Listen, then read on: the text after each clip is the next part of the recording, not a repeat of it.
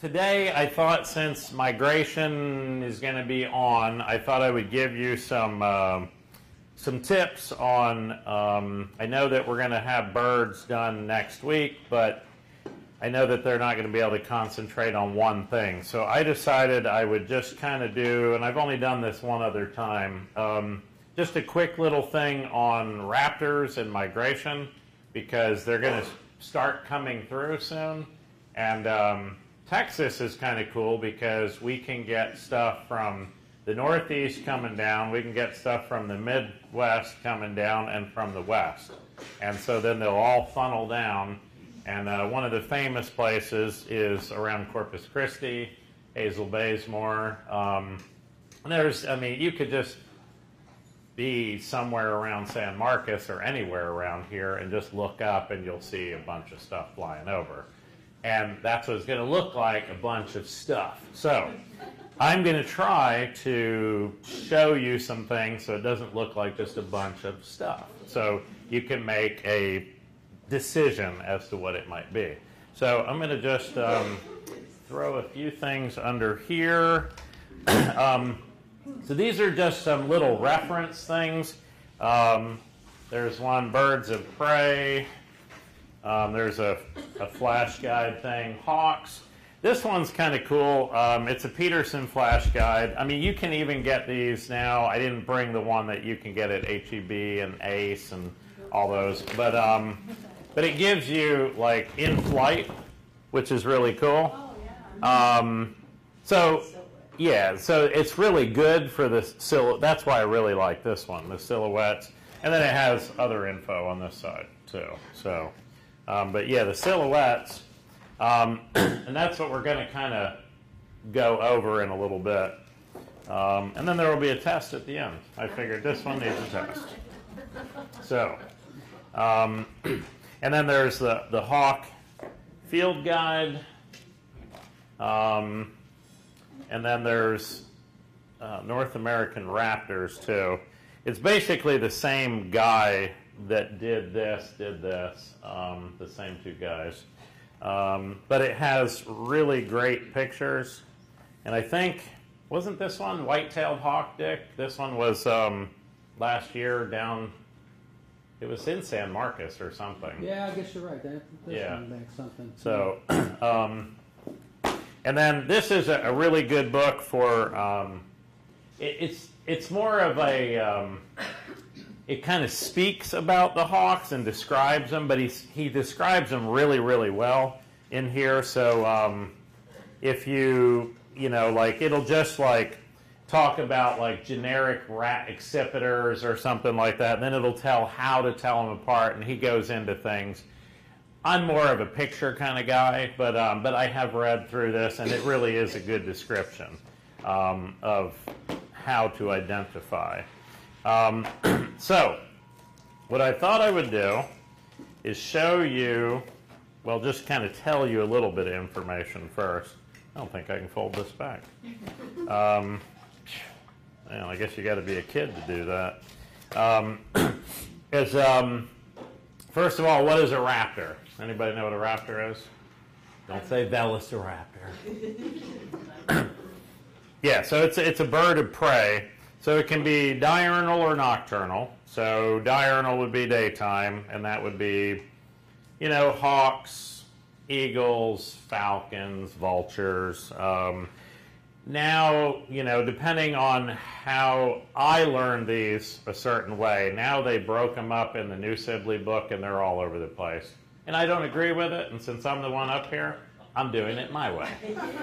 um, so they're, um, they're birds of prey, which usually means that they're going to have hook beak and they're going to have talons. Um, and I have a few little fun items from back in the lab days here, um, which I can show you.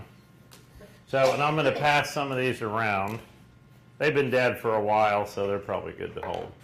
Um, okay. so, all right, the hook beak. Um, so hook beak and talons. Um, so usually with birds, it kind of um, will tell what that bird will do or can do by looking at its feet and its beak. I mean, it's going to like determine how that thing lives and where it lives. Um, just beak and feet. Um, so I'll pass this around. Does anybody have a guess as to what hawk that is? It's an unfortunate one that ran into a, or flew into a fence, but um, but I, ex- I extracted parts from him. Uh, this is uh, the wing from it, and showing the hollow bone too, which is kind of cool. Um, so this one's a red-tailed hawk. A lot of people call them chicken hawks, but it's a red-tailed hawk. And uh, so I'll just pass that, here's the skull. And if you look at a uh, raptor's skull, it's um, the eye of it is going to be enlarged, and so it can't move in the socket. So you can stare like at me, and without moving your head, you can move your eyes right and left. Birds of prey cannot do that. Their eyes are so huge, they can't move their eyes, and that's why, like an owl is quote unquote, oh, it turned its head all the way around. No, it is not Linda Blair. Um, so it can't spin its head all the way around, but it can do, you know, you know, like 270 degrees. So, um, so they can they can turn their heads far, but their eyes are gigantic because they're actually seeing about eight times. They're like the same as you having eight power binoculars. So that's what they can do.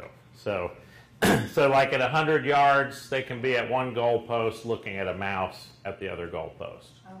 We can't do that. At least I can't. Um, okay, so um, their wings. Um, so they're going to be different shapes. They might be different colors.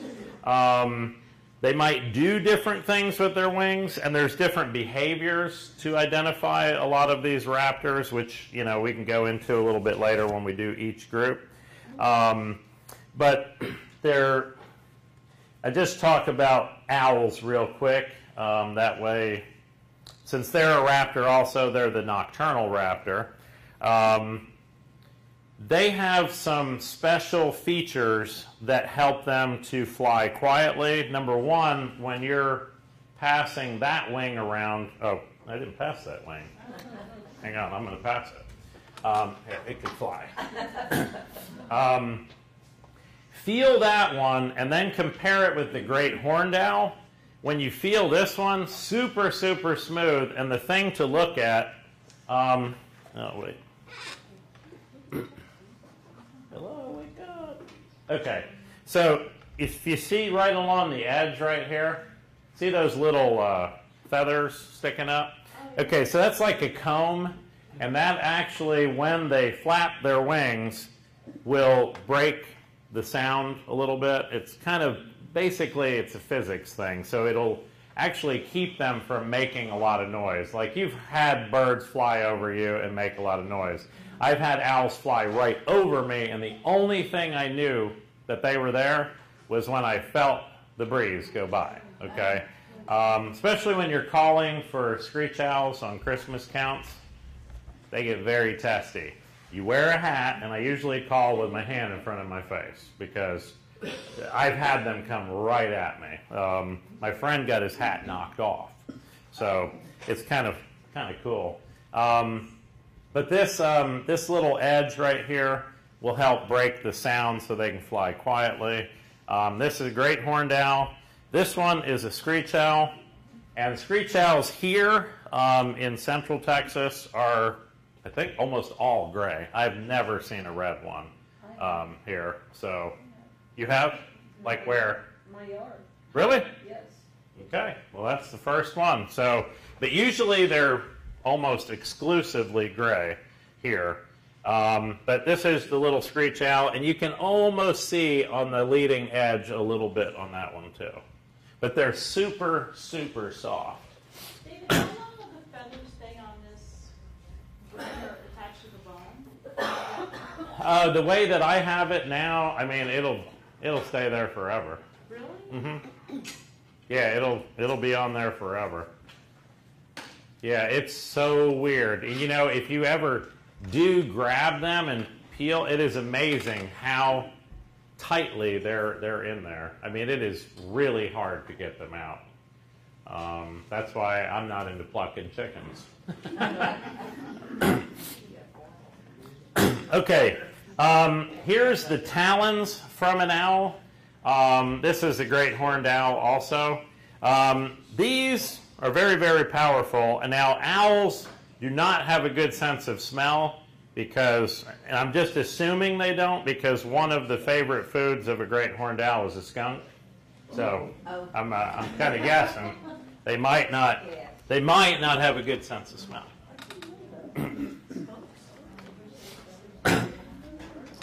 okay. Um, now, one thing with raptors, females are always larger than the males. Okay.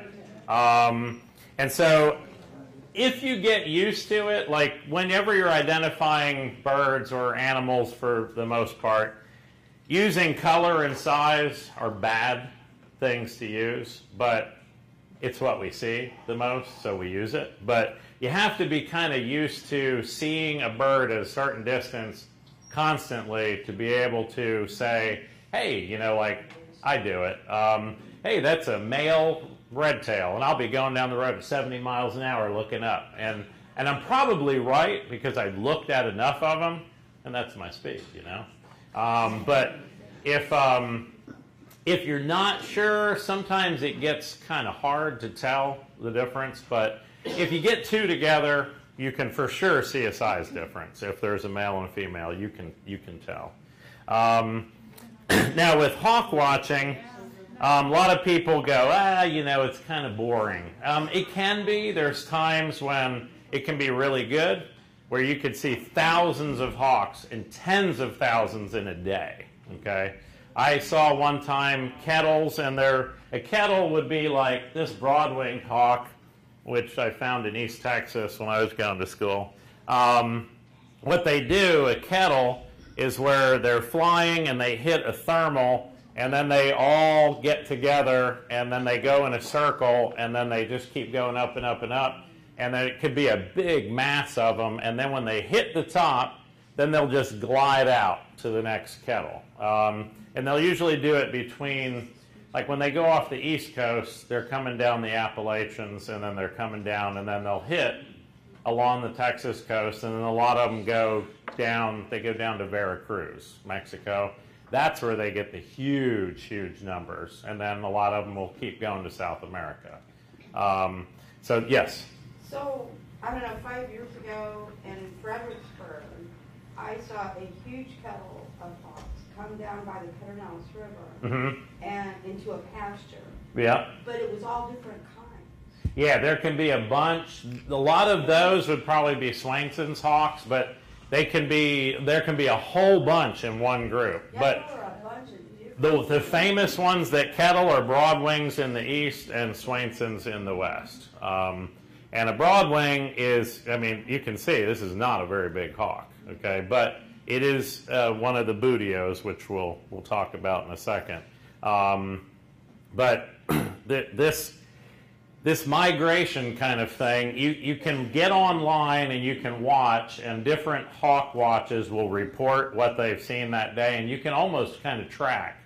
We used to do it when I lived in the Northeast, and we would wait, and because I was not far from Hawk Mountain, you know, which is a famous place. If you don't know about it, you should uh, definitely um, Google it um, and look it up, because I mean, they used to stand there with shotguns, just like they still do in Italy um, and several other places. And as the birds came over, they just shoot them down. Um, and it wasn't until like 1933 34 that they stopped that, and then it became a preserve. Um, but they still do that in Europe. I mean, that's like a big thing. So, yes. So what makes them form kettles? They Um, so they're watching each other and they're trying to save as much energy as they can. So they're watching, they can kind of feel whether or not, and so they're usually doing it along mountains because as the sun heats up the earth, because a lot of them, they won't even migrate until like 10 in the morning, because then that's when it's heating up, shooting, you know, you know, the heat up a little bit, and which gives them a little thermal updraft. And then they'll go, and then they just follow along the mountains, and then there'll be different little swirls that they'll hit when they watch other birds. You know, if those birds are struggling, then they might all move over this way.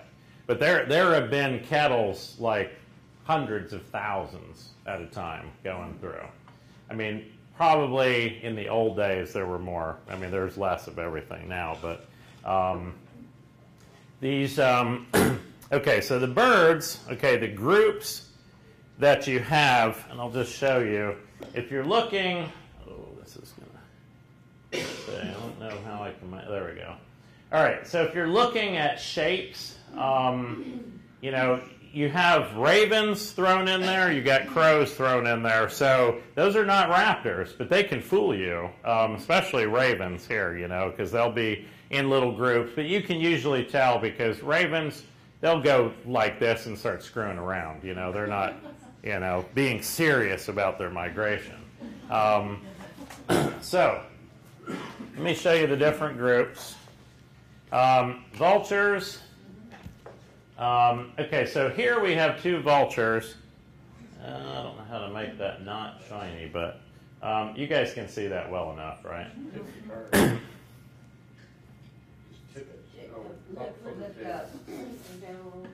Oh, you want me to stand here and hold that? All right. Memorize that. Okay, now. All right, so this is a turkey vulture. Um, and the way that you tell the difference is you can see the silver lining, and you'll see that right there. Also, these will kind of fly like this, and then they'll rock back and forth more. These will flap a little harder, and those are the black vultures. This is a turkey vulture. Um, I'll pass it around. It's really, really light, but I mean, if you were just to hold it like this, I mean, it doesn't take anything to go. Um, this one is shedding, so I apologize if it lands in your drink or something. um, here's okay. So here's turkey vulture and black vulture. Um, when they're young, both will have a black head, but if you look at the turkey vulture on the top, it's more of like a, a collar, where the black vulture will have more of, um, it'll have feathers going up the back of the nape a little bit more. So at a distance, you'll be able to see, even in no light, you know, a silhouette, and you see a little bit more feathers in the back. It's going to be a black vulture. Most of the ones on the cell towers here are black vultures because usually in the south there's more black vultures, in the north there's more turkey vultures. So, David, have you heard that um, turkeys, vultures, have a better sense of smell? Yes, that's true. And that's part of, so their nasal captivity or something like that is bigger, and, and so. Yeah, so and then lower? yeah, you'll also see them flying lower, and you'll see the tur- the black vultures flying much higher. Right. So they hunt more by sight, and they're also cheaters because they hunt off of the turkey vultures because they're actually a little more aggressive than them. So they'll come in and they're like, you know, number one at the feeding. Unless there's a caracara there, then the caracara will take over number one. Then the black vultures, then the turkey vultures. okay, so that's vultures. Now you guys have to remember these silhouettes because I'm going to take away the names in a little while. Okay. Eagles.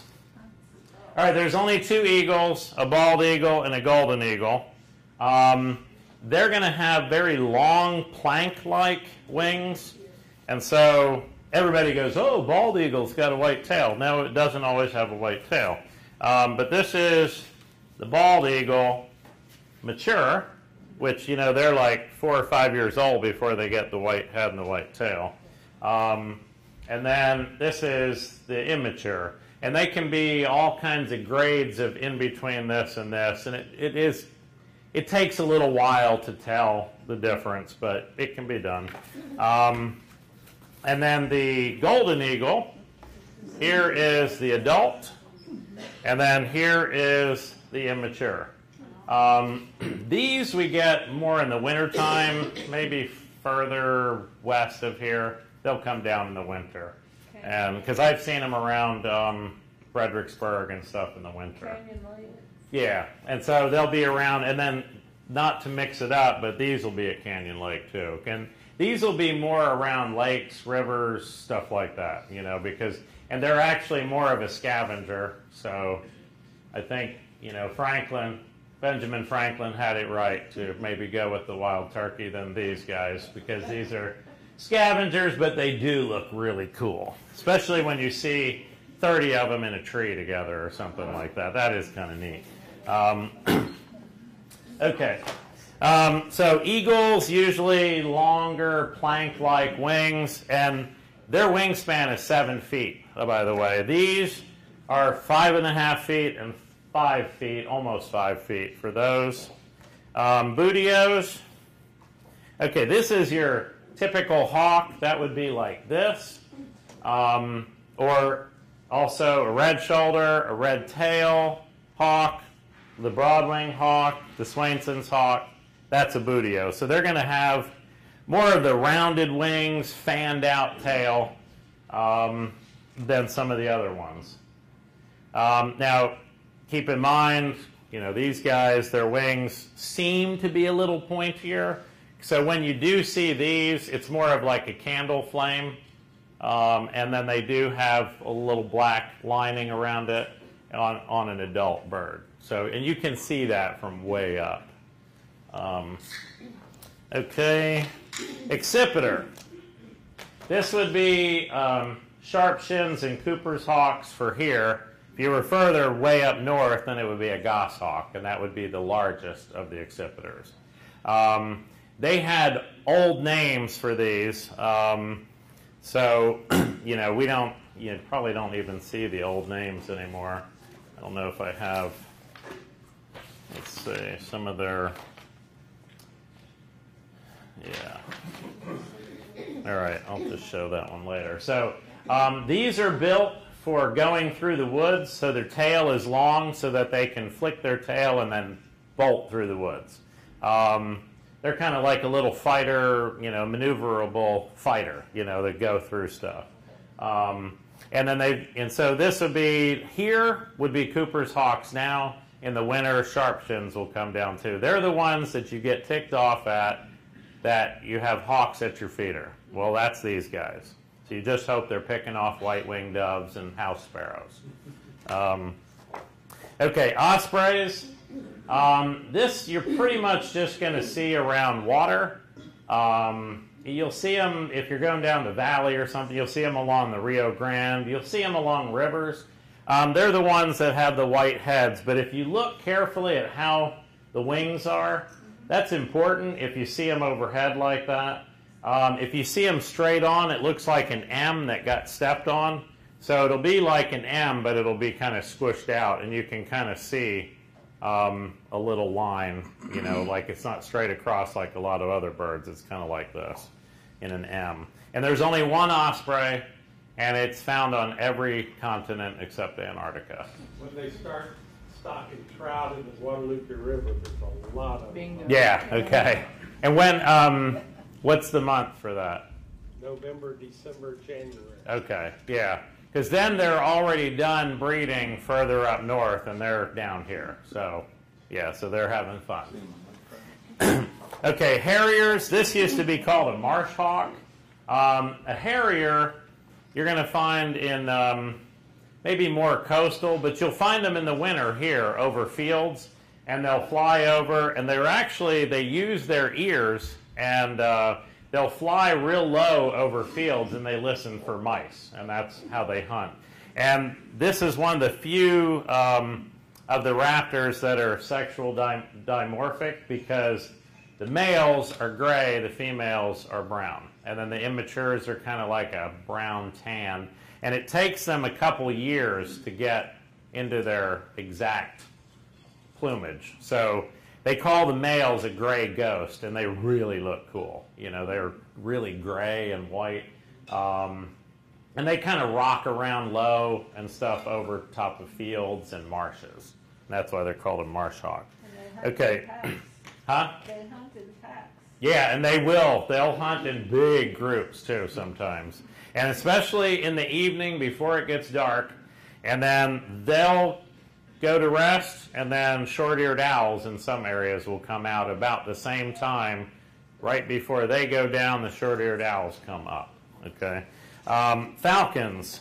Um, falcons are characterized by more pointed wings, and they also have a longer tail for maneuverability. And we have three here. Um, and these are the ones where they have the old names here. Uh, so the peregrine used to be called a duck hawk, a pigeon hawk, and, and the kestrel is the sparrow hawk. So they're not hawks, they're falcons. Um, and, and these also, you can tell um, some of the sexes of these too. They, they look a little different. Do we get merlins? Yeah, during migration, but I mean they're not. They're only going to be migrants. Um, peregrines. If you go to some of the uh, bat areas, you know where there's bats, there are some peregrines that live out here, and so they'll pick off bats and then go to you know probably a canyon or cliff wall where they might have a nest. So, or downtown Houston where they might be on a building, um, or New York. Um, okay, a kite. This is not the same as what you flew as a kid. Okay. Um, kites are kind of weird. This is like a their typical drawing, but kites can be different. So there's ones that have broad wings, kind of like a buteo. There's ones that have wings like this. Um, so kites would be, we've got a, a few. Uh, Mississippi kite, that's the primary one that you'll see, like, and that'll be in big groups too. In the spring, usually the most. Um, and then there will also be um, white-tailed kites, and those are the ones that will hover when they're hunting. So if you go to South Texas, you'll just see them like this, hovering. Um, kestrels do that. Um, red-tailed hawks do that. So after a while, you know which which hawk or which raptor does those little behavioral things. And you can be zipping down the road at 70 and not pull over and go, yeah, I know what that is, you know. Um, and owls usually look like that so that you don't confuse them. They look like they have no head. Um, and of course, they're going to be more nocturnal or crepuscular. You know, you're going to have it dawn and dusk. And then a raven looks like he has a spade shaped tail, and then a crow would look like that but would have a straight tail rather than a spade. And we don't have many crows here anyway. All right, ready for the test? Awesome. See, you had plenty of study time. So why don't you put up a caracara? It actually is with the Falcons. So, yeah. Falcons? Yep, it's with Falcons. Oh, but here, wait. Oh, There. I'll put it up for you. There it is. Right there. I thought you got that little Jimmy here. Yeah, he's cool, man. All right. Um, oh, let me just show you this real quick. The um, this is for Hawk Mountain. Oops. Gotta hold it. Um, okay. So this is Pennsylvania. So if you think about this, this is the big times for migration in Pennsylvania. Um, so they have to get down here. So all you got to do is kind of move the timeline to the right a little bit, and then that's when some of these will be hitting here. Um, but you can see like broadwings come in mass numbers, and usually the middle of September up there, and then they're coming down, and they're the ones that have the mass numbers, you know, along with Swainson's in, at Hazel Bazemore here in Texas. And here we go. You ready? Oh man. Okay. Yeah, Nighthawk, right? Yeah, you're right. Okay. What group? I don't have a cheat sheet for you. Falcon, who said that? Yes. All right, you're not allowed to answer the next one then. Okay. Long tail. Accipiter. All right.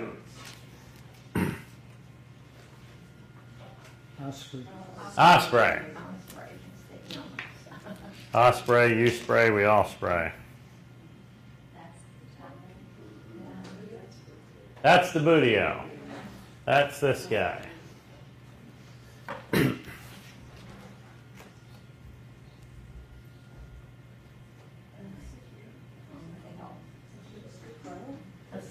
Accipiter. Oops, did I do that one already?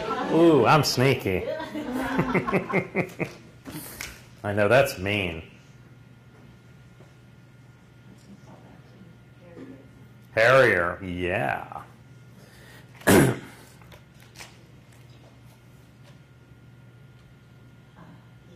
Eagle. Okay. All right, which one's which? They're both there. Okay. All right.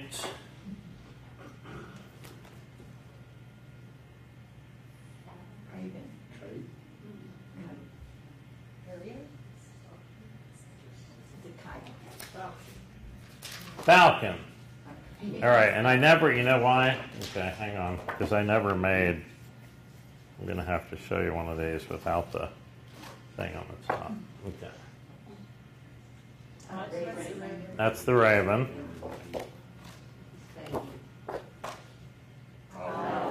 Owl. And that's the kite. But if you can, um, if you can get something like that one that has the silhouettes, that is the best way to learn these. You know, with the colors. I like to see the colors. Um? Yeah, this is the Peterson, but the other one is good also. I just I can't remember because uh, Kevin Karlson did the pictures on that one, but the um, this one just has you know it's it's kind of cool the way they did that, um, so that you can really see it well. Like especially like here's the the uh, eagles here, you know, and then the osprey they throw in there because that can trick you when you see them at a distance. You're going to think you have an eagle and it's an osprey. So, um, all right, I think I'm out of time. Thank you all, and if you want.